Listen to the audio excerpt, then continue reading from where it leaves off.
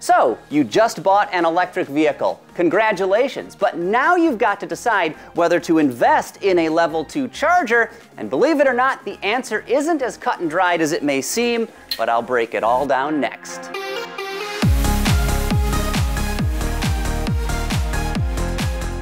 Common wisdom dictates that if you have an EV, you should install a level 2 240 volt AC charger in your garage or carport. This is almost always our recommendation here at EV Pulse, but there are a few exceptions.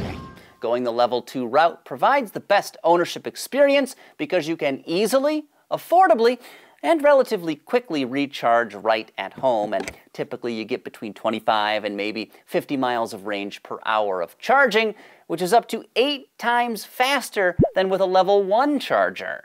Now, price, of course, is a potential hurdle. The actual chargers themselves usually aren't that expensive, but installation can cost thousands of dollars if you need to run a new circuit or upgrade your service panel. There are cases when these added expenses are simply not worth it. So, who's better off steering clear of a level 2 charger? Well, a few groups of people, actually around towners, workplace juicers, and city centerers. Yeah, that last one doesn't sound very good, so let's just say urbanites instead. And I'll explain what all this means after a few words from Lectron, the sponsor of this video. Did you know your shiny new EV may be missing a few things? Yeah, some manufacturers do not include portable chargers or certain adapters, and if that's the case, Lectron can help. You see, they sell all kinds of cables, chargers, and adapters, everything to enhance the EV ownership experience. So if you need a charger, either a J1772 or Tesla, Lectron has you covered. If you want a V2L adapter for your new Hyundai, they can help. Or if you're shopping for a level 2 charger, Lectron has myriad options, including this beefy 48 amp unit with a convenient NEMA 1450 plug so you don't have to hardwire it into your home's electrical system, though it can be if that's what you prefer. Either route is an option. For more information about Lectron and their broad range of products, scan the on-screen QR code or hit the link in the description box below. Now, okay, back to folks that don't need a level 2 charger. If you're an around towner and only drive 10 miles or so to work every day and never take long trips, the 120 volt level 1 trickle charger that comes with many electric vehicles is perfectly fine. They can usually add 2 to 3 miles of range per hour to a battery, depending on the vehicle of course, which means you should be fully topped up by the next morning. Easy peasy, no need to spend extra money. Now, other people that may not need a level 2 charger are workplace juicers or folks that charge at the office. Many employers offer reduced cost or even free charging as a perk. You could drive to work, plug in for your shift, and then leave with a full or nearly full battery. If this is an option, you may not need to install any new hardware at home. Level 1 charging may be all you need, but of course everyone's situation is different. And finally, urban motorists that live in densely populated cities probably don't even have a dedicated place to park their EV, much less a spot to install a level 2 charger. Of course, this may not be an issue at all because in this case there are probably enough public chargers nearby that you don't need to purchase and install your own. Now, many drivers will want a level 2 charger, but there are motorists out there that can't install one or simply don't need to. So if you're an around towner, a workplace juicer, or an urbanite motorist, go ahead and pocket the money you saved or invest it in your favorite cryptocurrency. I mean, mm-hmm. that's where I put all of my retirement savings.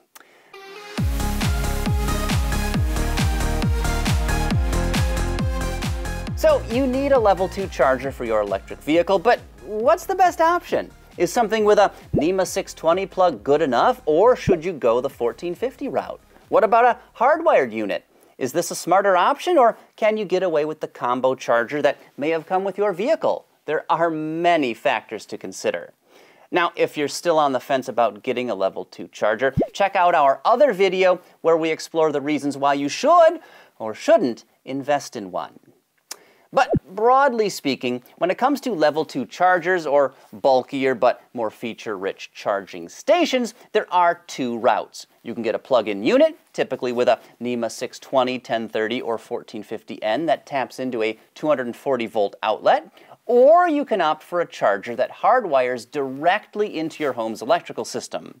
Each of these setups has advantages and disadvantages.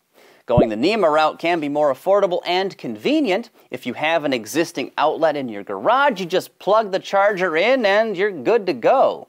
Intelligent socket splitters for NEMA 1030 and 1450 outlets are also available, so you can conveniently run, say, your clothes dryer and charge your car from the same power source without tripping a breaker or needing to install a second outlet. Another advantage of plug-in chargers is that if you ever want to relocate the unit from one area to another, or if you move, you just unplug the thing and go. There's no digging through electrical boxes to disconnect wires, which a lot of people will not be comfortable doing. And of course, if you are shopping for a level 2 charger, our friends at Lectron can help. They sell all kinds of EV specific hardware everything to enhance the ownership experience. So if you need a portable charger, either J1772 or Tesla, Lectron has you covered. If you want a V2L adapter for your new Hyundai, they can help. Looking for a heavy duty extension cable? Not a problem. Or if you're shopping for a level 2 charger, Lectron has myriad options, including this beefy 48 amp unit with a convenient NEMA 1450 plug, so it doesn't have to be hardwired into your home's electrical system, though it can be if that's what you prefer, because either route is an option. So for more information about Lectron and their broad range of products, scan the on-screen QR code or hit the link in the description box below. Opting for a hardwired level 2 charger is less convenient, but the big advantage is that they can provide faster vehicle charging. As its name suggests, the commonly used NEMA 1450 plug puts out up to 50 amps of current, though the most powerful charger you can use is 40 amps. Now, for safety reasons, there's this thing known as the 80% rule that basically says continuous current draws shouldn't pull more than 80% of a circuit breaker's capacity. There needs to be a little bit of breathing room. So 80% of 50 is 40. Make sense? Great. Now that being said, the standard J1772 connector for level 1 and level 2 charging supports up to 80 amps at 19.2 kilowatts. And this means hardwired chargers can deliver much more juice for quicker charging, though this speed advantage may only matter with EVs that have huge batteries like electric trucks. To work, 80 amp chargers need dedicated circuits with heavy duty wiring, which can cost a lot to install. And honestly, more affordable 32 or 40 amp plug in chargers are probably perfectly fine for most EV drivers. As for the various NEMA plugs you may run across, 620, 1030, and 1450, each one has a different design, and you'll have to decide which option is right for you based on your situation and how quickly you need to charge.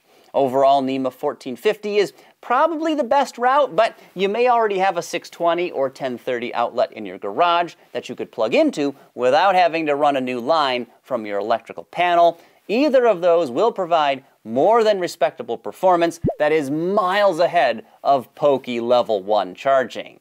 Now, aside from all of that, with certain electric vehicles, you may not have to worry about buying a level 2 charger at all. Some of them come standard with clever combination chargers that support either level 1 or level 2 charging. And basically, you just swap the end and you're good to go. These units may not charge as quickly as dedicated level 2 chargers, and you may prefer leaving the factory hardware in your vehicle's trunk so you have it in case of emergency, but these included chargers can absolutely be your everyday charging solution if you don't want to spend extra money. When it comes to level 2 chargers, most drivers will probably be happiest with a NEMA 1450 plug-in unit because of their portability and ease of use, but a hardwired charger is a great option as well, as is the included unit if your EV came with one.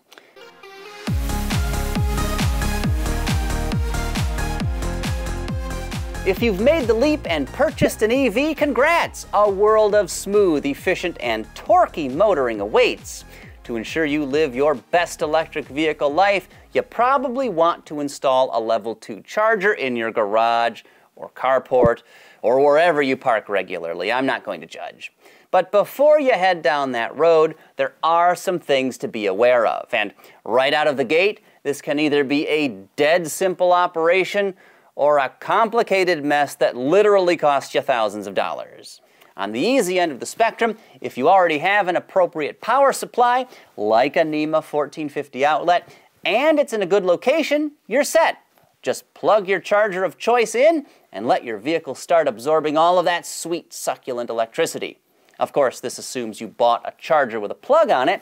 Some units require hardwired connections, so be aware of that before purchasing. One step up the difficulty ladder, if you're not blessed with easily accessible 240 volt power, you'll have to run a new line from your electrical panel to wherever you plan on juicing up your EV. And if you're super handy, this might be something you could tackle yourself, but most people will probably want to hire a qualified electrician so they know the work is done safely and correctly. And safely, because safety matters. It's the only way you can stay safe. Are the lawyers good with that? We don't have any lawyers. That's sweet. I can say whatever I want. Now, pricing for this sort of job will vary based on myriad factors, but it'll likely cost you at least a few hundred dollars beyond the price of the Level 2 charger itself, which you need to purchase if your vehicle didn't come with one. Now, if you drive an EV from a manufacturer that doesn't provide any charging hardware, no sweat because Lectron can help. You see, they sell all kinds of cables, chargers, and adapters, everything to enhance the EV ownership experience. So if you need a portable charger, either J1772 or Tesla, Lectron has you covered. If you want a new V2L adapter for your Hyundai, they can help. Or if you're shopping for a level 2 charger, Lectron has myriad options, including this beefy 48 amp unit with a convenient NEMA 1450 plug, so it doesn't have to be hardwired into your home's electrical system, though it can be if that's what you prefer, because either route is an option. So for more information about Lectron and their broad range of products, scan the on-screen QR code or hit the link in the description box below.